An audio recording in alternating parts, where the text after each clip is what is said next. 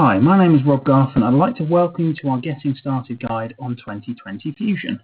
Firstly, I'd like to thank you for taking the time to trial our software, and I'm sure you'll enjoy using it.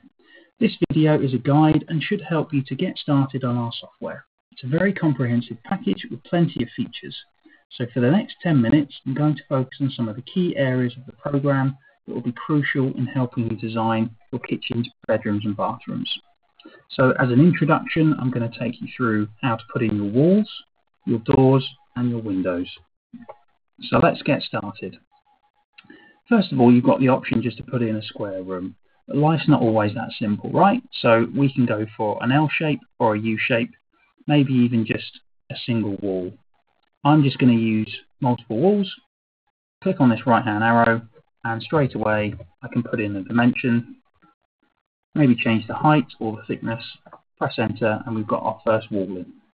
I can also use the arrows on the keyboard, and that also brings up the same link. And I'm going to put in my dimensions, change this to a thicker wall. You can see that's changed on, on display. Come across, 2 meters, change this back to an internal wall, and you can actually put in your room layout very, very quickly. If I need to use an angled wall, then again, it's very straightforward to do so. I'm now going to complete the room and click OK. I now have some color options here. So there is some preset color themes that you could enhance the room's layout with, like classic cream, but you can create your own favorite styles. Click OK. So very quickly we put our wall layouts in. All the dimensions come in automatically. Just a very brief introduction to the to the user interface. Up here you've got all the familiar sayings that you would associate with all Microsoft certified programs. File save, file close, Home, Insert, Annotate and View are going to be your four tabs that you're going to be using most of the time. And then this on the left hand side is where you're getting all of your windows and your furniture items. So first of all, we want to go and put in a door into the room. You've got lots you've got lots of nice different images here to choose from, lots of different styles of doors. I'm actually going to use these filters here, which is really nice and easy just to find the one that you're looking for and you can scroll through here, find the interior door that you want to, and we drag and drop it into the room. You can change your length, putting your distance left or your distance right to position the door along that wall. I can change the handing or the hinge as well, and click OK. It gives me an option of whether or not I want that door open or closed in plan view. Again, I'm going to keep that open. And then I move on to my next option, which is Windows. Windows work in exactly the same way. I find the window I want and I drag it into the room. I put in my dimension, the distance left and the distance right works exactly the same way as the doors. And I can change the height of the floor out of that window. okay. We've also got some different options in terms of the windows if you're wanting to put any Velux windows in, maybe even a, a ceiling lantern. Um, again, drag and drop it into the room, and it looks fantastic.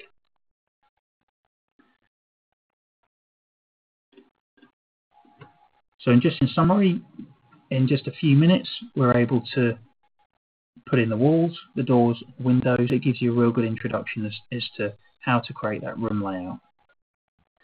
Next up, I'm just going to show you how to put in some furniture. So we're going to use the Universal Kitchens catalogue, which will be available for you in this trial show you how the style details work, so maybe particular styles of doors that you're going to be wanting to design and show your customers, and introduce you to 2020 Cloud, where you can get access to all of the branded appliances and some decorative items to dress the kitchen, like you can see in this fantastic image in the background. So back to the software. Go to my manufacturer's product selector. Basically it comes up with our Universal Kitchens catalog. And you've got a couple of options here. I can actually put in a code. So B860 is Highline base unit, 600 mil. I prefer to use these filters, which you might prefer to do as this is your first time using the software. Base units, no drawers, and a single door unit. And again, you scroll down to the same unit that we just earlier. So first of all, I'm actually just going to start in the corner. Put in a corner unit. Lots of different corner units available. I'll find the one I want to use and drag it into my room. As I drag this into my room, you can see it will spin round depending on where I want to put it. As I release the mouse, it will then show me the style details. So what sort of kitchen am I going to be designing? I'm actually just going to choose a shaker style door. You can see here there's plenty of options available. In terms of the materials, lots of woods. We've got colours, so high gloss blacks, high gloss whites, all the different gloss RAL colours, all the Pantone colours as well. So plenty of options there for you. Just going to stick with a nice wood kitchen. You can also change your different handles, handle positions. Again, very straightforward to choose the one you want and a nice clear graphic here of what that kitchen is going to look like. Next up, I'm just going to add in slightly larger unit here. I'm just going to put another one next to it. I can actually double click on the mouse and that puts another one next to it. I'm just going to stick another unit just in that corner there just to finish off the room.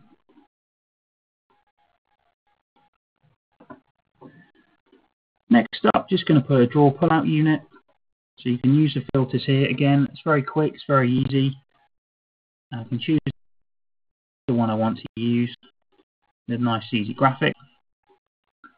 Tag that in next to it.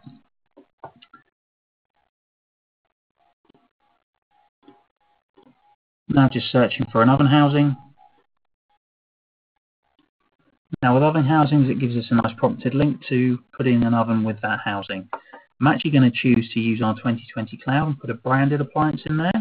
So if I introduce you to this catalog here, so 2020 Cloud, um, please register during this trial and you'll be able to get access to this. Um, but you'll see here that there are lots of different brands available on here. So I'm actually just going to use um, the Neff ovens and drag and drop that into the room. whilst I'm in here, I'm now going to put in a cooker hood. You find the one you want to use and you drag it in. Hobs work exactly the same way. Find a ceramic, drag it in, and away we go. Very straightforward. I'm now just going to use Blanco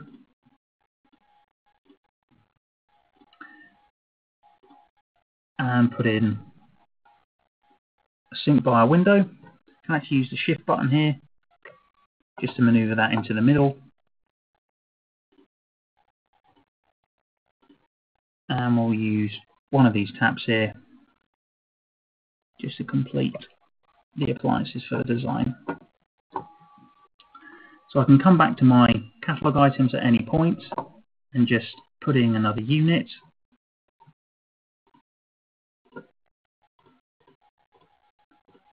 just going to put in another 600 unit into here. And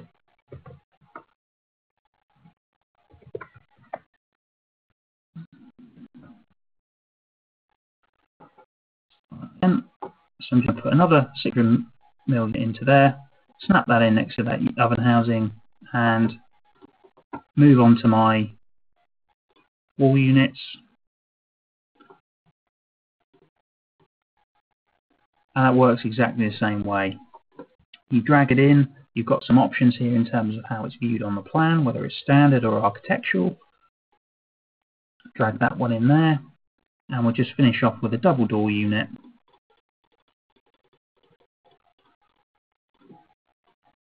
Put that into the corner.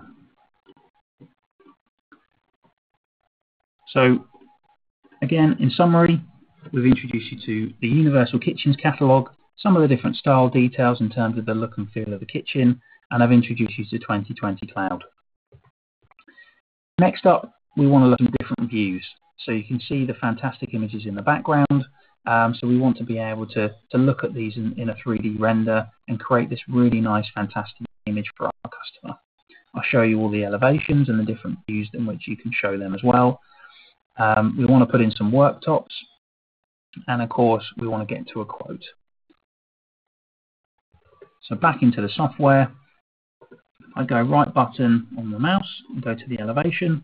You can see here we've got a fully dimensioned elevation view of that kitchen and all the, the different walls are automatically preset available for you to navigate to.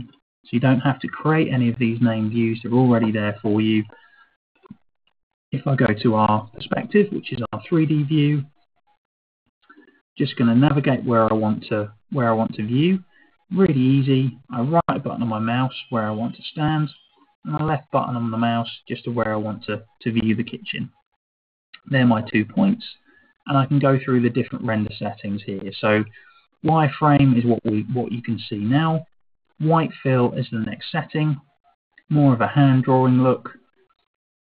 You've also got color fill, which is the next level up. Again, these are all very quick renders to produce. Draft, next level up. Presentation and Presentation Plus are the two highest renders. If I go to Presentation, you can see here it's a much sharper image, but it's also extremely quick. If I now go to Presentation Plus, slightly nicer, you get much more sort of nice on the appliances, but again, it's all very, very quick. So you're not waiting for minutes or hours for this to produce. You can do it in seconds.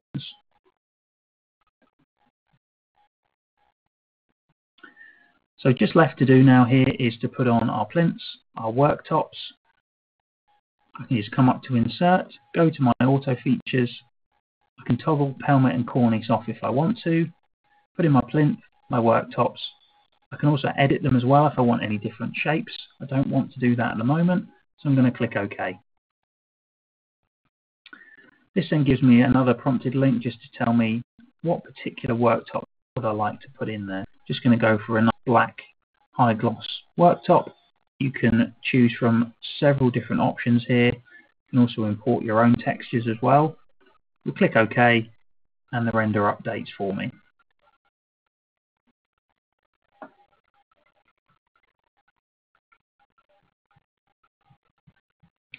In terms of just updating this view a little bit to enhance it, I can actually change the background.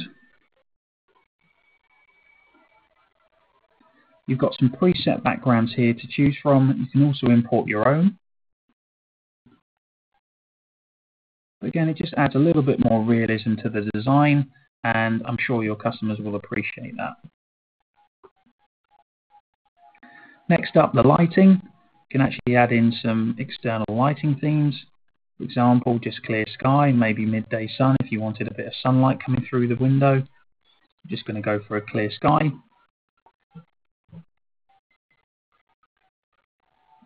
And again, it just offers you a different effect, but the rendering is just as quick. You'll get this view rendered in, in seconds.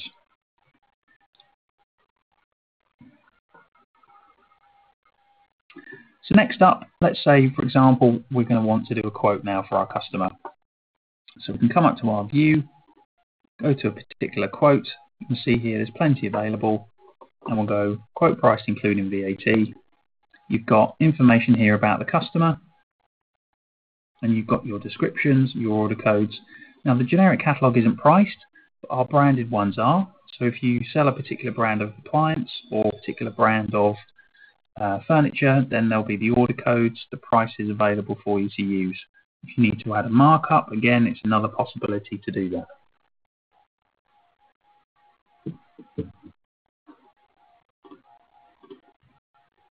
In summary, I've shown you some different views there, your elevations, your 3D renders, all the different settings available, how to put on your worktops using auto features, and then of course how to do a quote.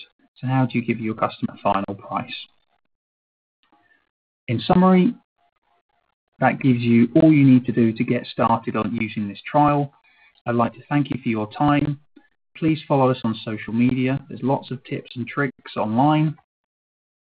You'll get a lot more information on our website.